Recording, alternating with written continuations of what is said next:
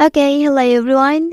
Here I want to provide tutorial on how to view save password in DuckDuckGo app on an Android device. Well, knowing how to view save password in this application can be helpful if you need to access a password for a website but have forgotten it.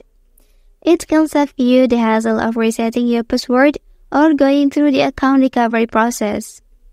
However, it is important to use this feature responsibly and ensure that your save passwords are secure and protected from unauthorized access.